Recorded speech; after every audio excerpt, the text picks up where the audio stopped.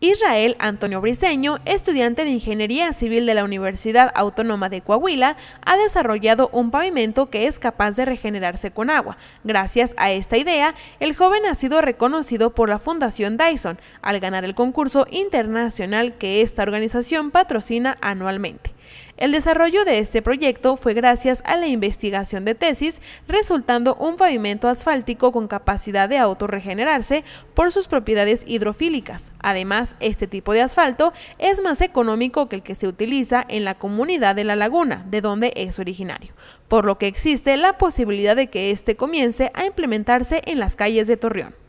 Lo que pasa es que cuando llueve las filtraciones de agua llegan a la base debilitándose creando una falla y cuando pasa un auto colapsa. Así es como se quiso convertir al mayor agente de degradación en un agente de recuperación, ya que con el proyecto el agua sería un mantenimiento para las vialidades, explicó el joven coahuilense.